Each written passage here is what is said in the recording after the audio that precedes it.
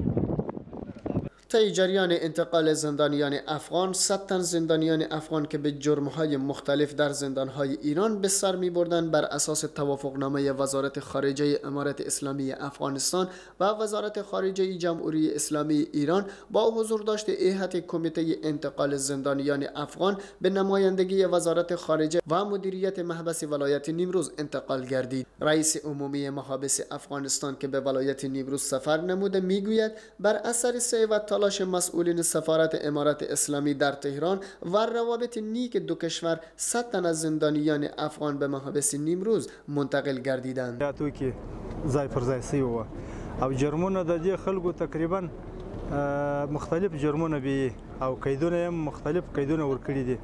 اکثره لس کاله پنځلس کاله تر شل کاله پورې هم سته نو بعضو هلته قیدونه تیر کړي دي او ډیر قیدونه یې پاته دي. او دا دوسیې ټولې و دا کمیټې ته سپارل سوي دي. دوسیې بیا دا کمیټه څیړي او بیا بیا خپل ولایت مربوطې محکمې ته احواله ماسې خبر ورکړي چې احمد و محمود پلان دوسیه پر دغه ځای ده او دا آزاد کوي ان شاء الله نن تقریبا سل کسه زندانیان نیمروز ولایت را انتقال شول د وزارت خارجه او د افغانستان اسلامي امارت بهرنی چارو وزارت په اساس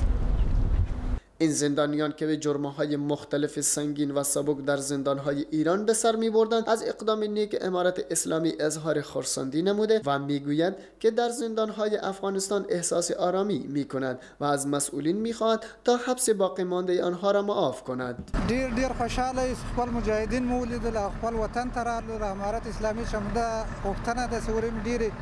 سختي تیرې کړې دي باید موږ زر تر زر خپل کور ته خپل بچیانو ته واستو در جریان شش ماه گذشته چندمین بار است که زندانیان افغان در ایران به افغانستان منتقل می گردند به گفته این مسئولین در این روند تا اکنون 858 تن از زندانیان افغان به محابس افغانستان انتقال گردیده است. به گفته آنان تلاش ها برای انتقال سایر زندانیان افغان در ایران نیز جریان دارد.